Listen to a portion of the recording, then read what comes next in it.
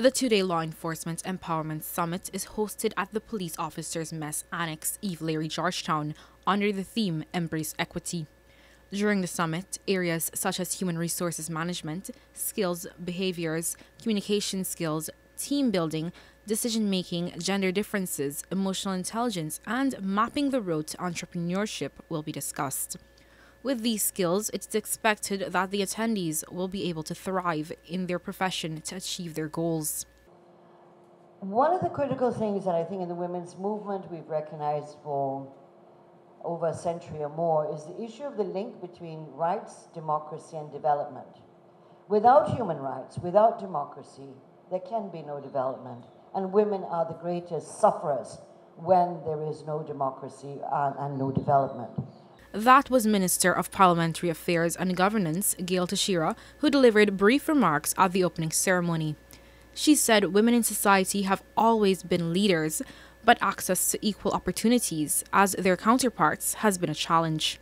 The minister further noted that women must gain access to opportunities because women show the most interest in societal issues and development. Commissioner of Police AG Clifton Hicken, in his remarks, said women play a major role in law enforcement and they continue to be valuable members in the team.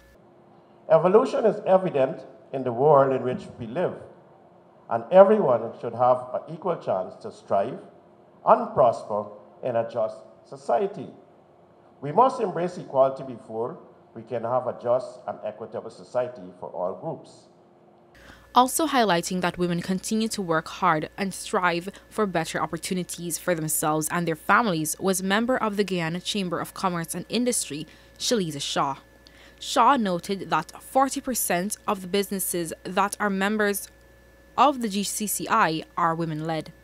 I expect to become more empowered after the summit because I do look forward to have new connections and build new relations with other females, be it uh, junior or senior officers across the Guyana Police Force, and just be more empowered as a woman. Coming out of the two days conference, we're expecting that our women would learn so much, you know. Oftentimes, women of in society, especially our within the Guyana Police Force, we lack so much knowledge when it comes to women. For instance, like the history behind the women, how you know how we were able to vote, how we were able to achieve so much, um, how we were able to occupy offices, you know, things that like that we're expecting to have from the conference. How we should plan, you know, as mothers and law enforcement, how we should take care of our finances as women. On Wednesday, President Dr. Irfan Ali disclosed that women make up 26% of the senior officers in the joint services. And in terms of business support, women make up 60% of all of the country's investments within the Ministry of Tourism, Industry and Commerce. Reporting for the newsroom, I am Lazeena Yearwood.